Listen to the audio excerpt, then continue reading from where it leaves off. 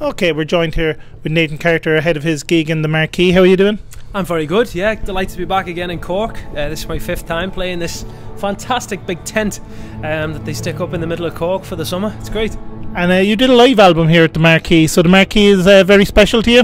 It is, yeah. I mean, when I started out, um, and uh, kind of over the last five years, when it started getting the gig started getting bigger.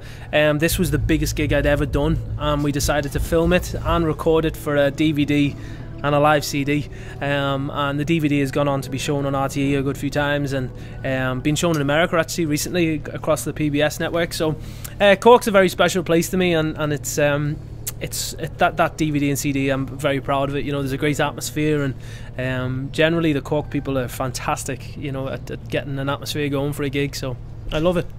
Excellent. And in terms of your music um, first day, was music something always that was on in the family with you and that kind of a thing, or how did you get into that? Yeah, my granddad used to play the old country uh, singers like Johnny Cash and Patsy Cline. Um, Merle Haggard, all them old singers, and I from when I was three or four years old, I was singing Johnny Cash songs, you know, growing up. So, um, and my my other grandma, my dad's dad, played the accordion, so he taught me the accordion when I was really young, um, and been musical ever since. Um, I've gradually got worse as the years have gone on, but uh, I've always loved music. I, I, I, couldn't do anything else. I really couldn't do anything else. I, I don't think at this stage, you know.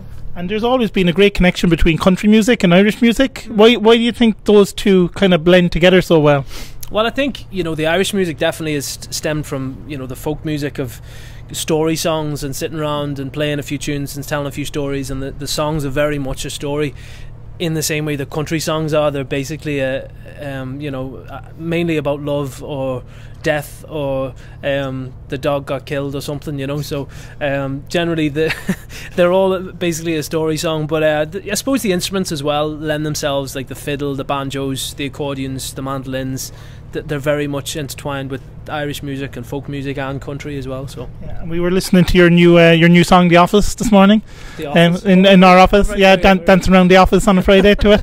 Um, where does the inspiration come for you for your for your songs? Um, well, I, I didn't write the new one. Now I got sent it by a guy, a friend of mine, Don Mescall, who's from Limerick originally, and. Um, he'd written it for written it for an American singer, but he didn't want it, the American guy, or he didn't cut it anyway. So he sent it to me, and um, I was lucky enough to get it. But writing wise, I, have recorded. Um, I've written a lot of songs at this stage, but um, I, uh, I, I don't particularly enjoy the writing stage. I get very frustrated writing. I I I, uh, I, I don't know. I, I guess I.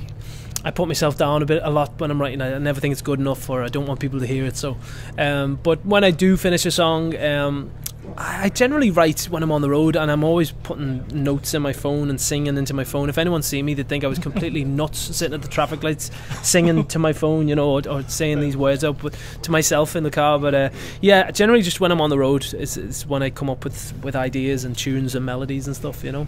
And you're in the middle of a bit of a tour at the minute, so how's yeah. that going for you? Good, yeah. I'm delighted to be back in Ireland. We were in America for three weeks there, um, and earlier on we were in Germany this year doing a tour there. And uh, we always do the UK every year, England and Scotland. And um, so this this the next few months I'm just in Ireland, which is great because I get to ho- go home most nights uh, to my own bed. So I, I enjoy that, and I like being on tour in Ireland. It's always good fun. So. So very much. Thank you so much for taking time out to join us, and uh, best of luck with the gig tonight. Thank I'm sure it'll be a good one. Thank you. Appreciate it. Cheers. Cheers.